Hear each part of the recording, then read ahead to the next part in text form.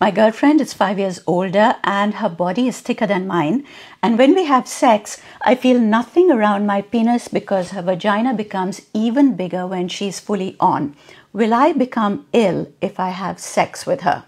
Okay, let me put it this way. If you were overweight, or if you were older than the woman, or even if your penis was differently sized, do you think that if a woman had sex with you, she would become ill? No, right? I mean, I don't even think that that thought would ever cross your mind, correct? In the same way, there is no reason to think that you would become ill if the woman is either older or larger than you. Two, all sexual organs become enlarged during arousal. Just as the penis becomes larger, so does the vagina. It's not a disease, it's just how nature works. Three, if problem is that your sexual organs are the wrong size for each other, the Kama Sutra says that you can get past this issue very easily by trying different positions because your size can be somewhat adjusted by using different positions. Google this, there's lots of information out there.